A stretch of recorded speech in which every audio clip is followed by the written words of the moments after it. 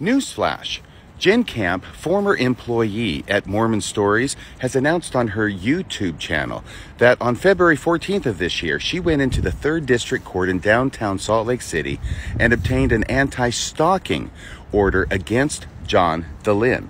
Now, that order is by its nature temporary until such time as a hearing can be scheduled so that both parties can show up and present their sides of the case. The newsflash is that according to the docket available at the website for the 3rd District Court, that hearing has now been scheduled for this coming Tuesday, March 7th at 9 o'clock in the morning. It should certainly be worth the price of admission.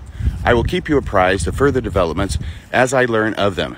Until then, this is Radio Free Mormon, reporting behind enemy lines.